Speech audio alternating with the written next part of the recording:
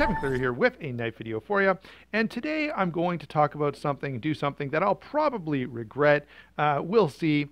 Uh, I'd love to hear your comments down below in regards to this or anything else that you might want to talk about. But specifically, I'd love to hear some of your feedback in regards to this particular discussion. We are going to talk about Rockwell hardness testing and blade steel testing that has been going on with a number of YouTubers and a number of others in the community. Uh, we're going to talk about the results and how the community has responded to that. And so that's where we're going to go in the next few minutes. But first off, let me let me uh, put out point out one important principle. I am a fan of accountability. I'm a fan of truth. I'm a fan of facts. And so I have no problem whatsoever with the people who want to do this testing and who want to put the information out there for the community. I think accountability is fantastic, especially when it comes to large corporations who have been notoriously bad for trying to keep secrets from the general public. And so I'm a big fan of accountability. I'm a big fan of getting that information out there and allowing us as users to know a little more about the products we're using. I absolutely agree with all of that and have no issue whatsoever. Okay. And so my first point that I guess, so that's the first principle that I want to point out there. The first response that I want to make to that is that people, I guess, manufacturers, politicians, you know, anyone, any large institution really needs to be on notice at this point that the time when you could keep secrets from the general public is gone.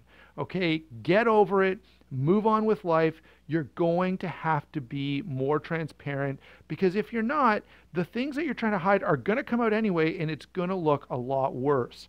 All right, so companies have got to stop trying to keep things secret from their customers because it just doesn't work. And, and, we're seeing all kinds of this. So the whole Me Too movement with Bill Cosby and Harvey Weinstein and, and all of that, you know, those those people came up in a time when if you were rich and powerful, you could keep secrets.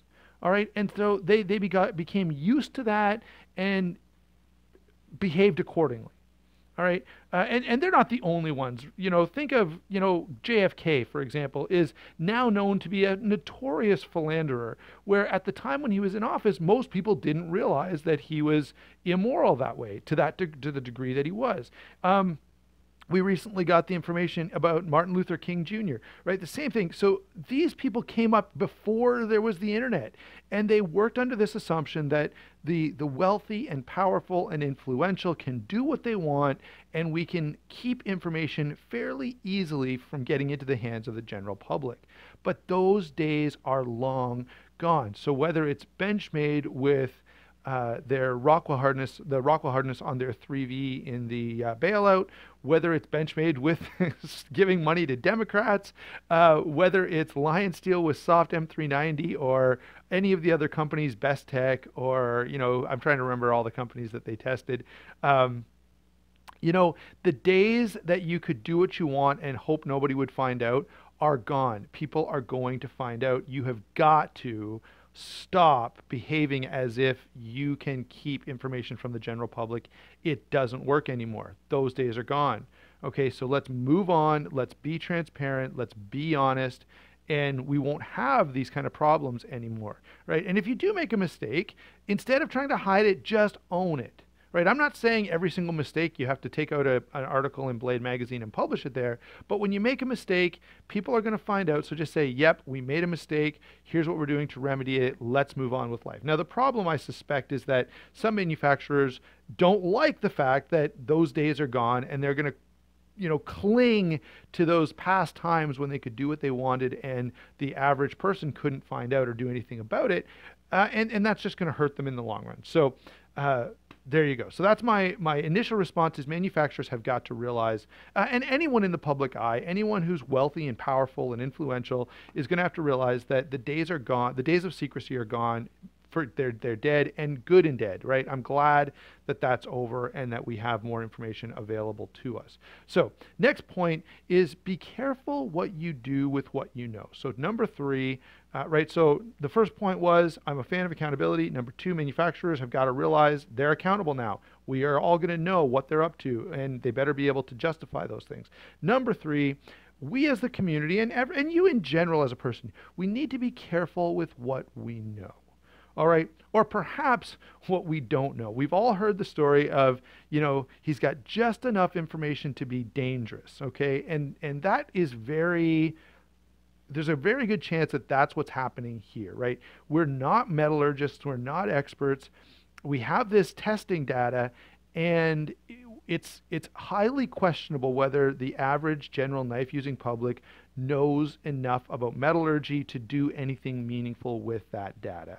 Okay, now what you can know, for example, is if a, a company's manu- is a, if a company is advertising a particular Rockwell hardness and not hitting it, yeah, that, that's something we can go, yeah, you were just dishonest, right? Or you made a mistake. And and if the company just comes out and says, you know what, we thought it was reaching that level, we we did something wrong with this batch, or something is going on with our equipment, or whatever, okay.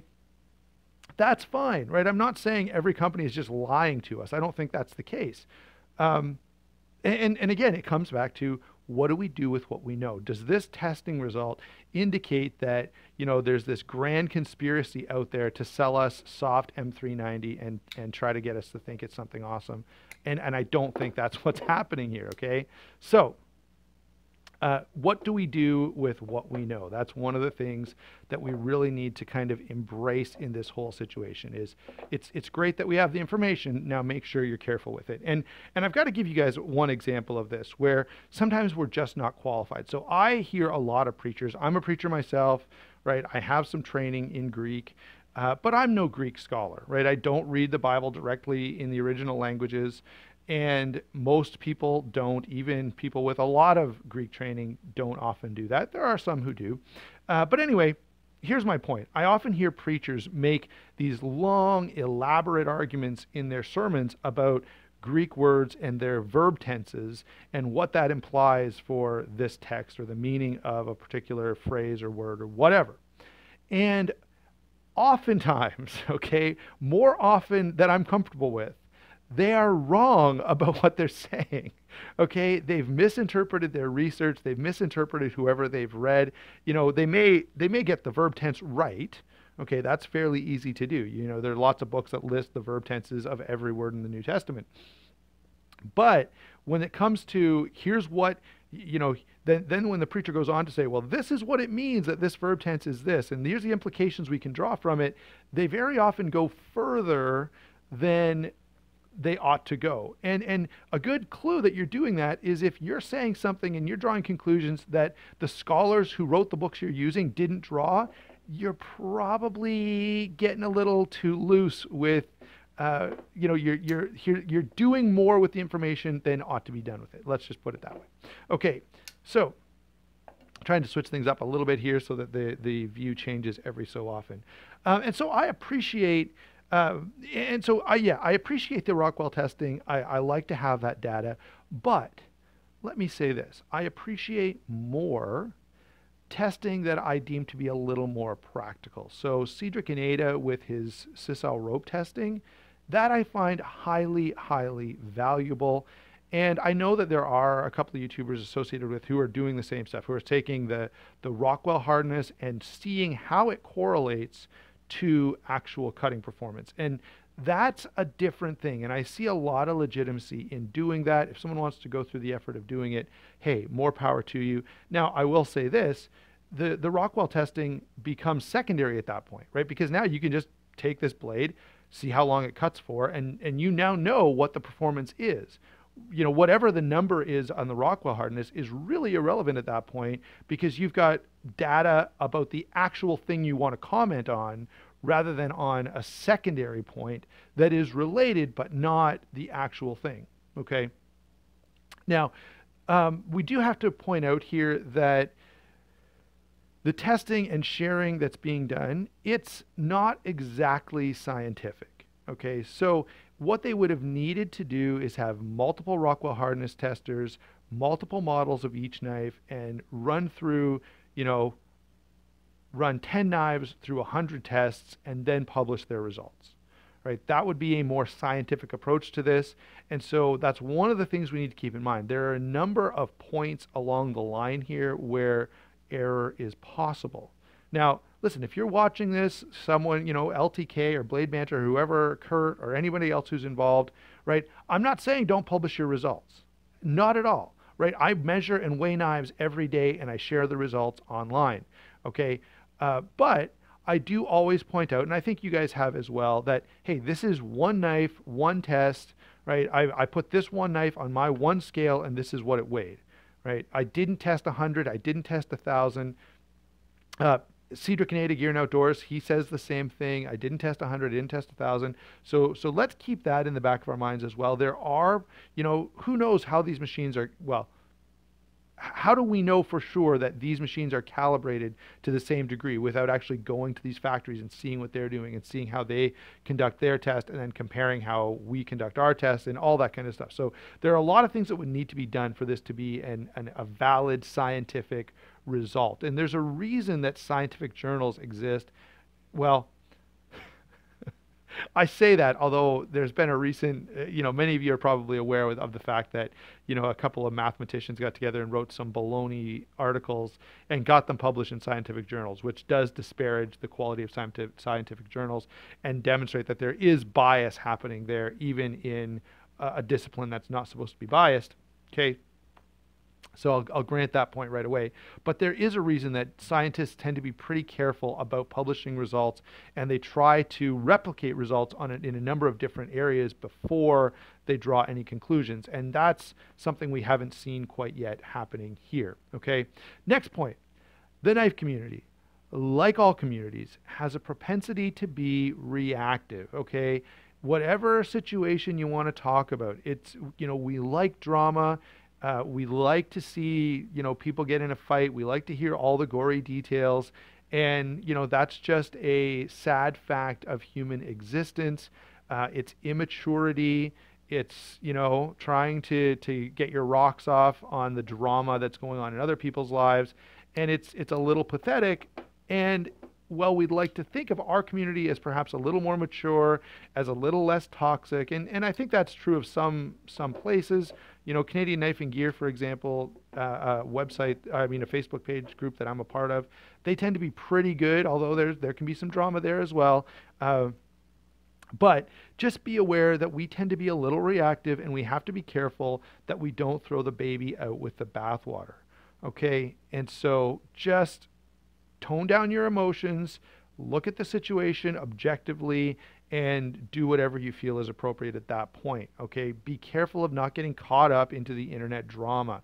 Uh, manufacturers, as you're watching this, you need to realize, you know, there's a bit of a, a mob mentality developing here, and you're going to have to be careful how you handle this situation, what information you share, and how you share it. Now, I do think you need to respond. Okay, you really do, though, especially those manufacturers who have really failed. Uh, Lion Steel is a good example. Uh, you guys need to share some information, and you need to get get out in front of this in an appropriate and helpful way. You need to be humble Okay, and you need to be honest with your consumers. Again, the time of keeping secrets from your customers is gone. Get over it and just be honest. Don't try to hold on to these days of the past when the internet didn't exist and everyone couldn't share everything that happened to them. Okay, uh, I think of, uh, again, we'll bring it up because he does a lot of testing here. Uh, Cedric and Ada Gear and Outdoors, when he had that steel will that was really soft, uh, there was a time when only him and Steel Will would know about that, right? He'd send them an email. They would say, "Oh man, something happened with our with our heat treating. We'll deal with it," uh, and you know, send him a new knife. Okay. Well, now that's that's not the times anymore. Now everyone everywhere knows about every problem. Okay, so manufacturers need to be aware of that and they need to behave accordingly. All right. Uh, if for you manufacturers out there, it's a matter of cost savings, right? If you're saying, look, we can't heat treat these steels as hard as you guys want them because we can't machine them after or something, or it costs too much to machine them after, you need to tell us that, right? You need to tell us what's going on and, and why it's happening. All right. And finally, uh, and so those that's how I would, uh, you know, I think both the community and manufacturers, you know, we're not enemies. Okay. We ought to be, you know, manufacturers ought to be making awesome knives because they want to produce great knives. They love knives just like we do, ideally, and they want to share that. So that's what I'd like to see. Consumers. Again we're not enemies. They're making the knives that we love to buy. And so we we want to you know i when when one of these situations comes along i sincerely hope that manufacturers do well that they make changes and and behave better what's with, based on what they've learned from from these kind of things happening um, it, it always saddens me to see a manufacturer sort of get their hackles up and, and start fighting with the community. That's not helpful for anyone. And, and the community does, isn't, no one benefits. Let's just put it that way. Finally, all right, uh, not quite finally, but almost finally. Uh, do you need to send out all your knives for testing? Right? You're going to be like, oh man, I've got all these M390 knives. I guess I either throw them in the garbage or I'm going to have to send them to be tested. What am I going to do now? You know, what about 204p and what about uh, you know 20 CV? Man, uh, what what happens here? Is the whole is the sky falling? Uh, well, no, it's not. Right, that's part of our overreactive nature as knife guys. We spend money because we want to know that we have the best, and now we're being told you really don't have the best, and it can be troubling. Okay, so you don't need to send all your knives out to be tested. You don't need to throw away all your M390 knives. You need to just use your stuff. Okay, if you use and sharpen your knives, you'll know if something has gone wrong. You'll know if it's not performing the way it should. Recall back when Cold Steel switched from CTS XHP to S35VN, and I said, this kind of sucks. CTS XHP tends to perform better than S35VN. How did I know that? Did I send all my knives away for testing? Did I have the Rockwell hardness numbers in front of me? No, I didn't. The reason I knew is because I use my knives, I sharpen my knives, I know how the steel ought to feel and what I like it to feel like when I'm sharpening stuff, when I'm using it. And so I could tell right away, and and you know I'm not the only one, by the way, uh, but I could tell right away that S35VN was not going to perform as well as XHP. Now it's a very small difference, okay, but the fact is we hire out too much in our society. You know, we don't open the hoods of our cars, we don't repair anything, and as knife users, we kind of fall into that a little bit. I'm going to send my knife off to somebody else to be sharpened. I'm going to send my knife off to somebody else to be repaired and and tweaked. Well, if you don't fix your stuff, you don't know about it. And especially if you don't sharpen your knives, you're not going to know about steel. And you, when you get these results about Rockwell hardness, you won't know how to interpret it. You won't know how that how that impacts performance. Okay. And by the way, I should point out here that uh, there is a significant difference between, say, D2 or, or 8CR13 MOV or 9CR18 MOV and S30V or M390 or S35VN. Uh, and it's, it's not just a matter of Rockwell hardness. So you can't say, for example, that 8CR13 MOV hardened to 62 Rockwell is going to outperform M390 hardened to 58 Rockwell, right? There are way more other considerations to be that have to be accounted for there.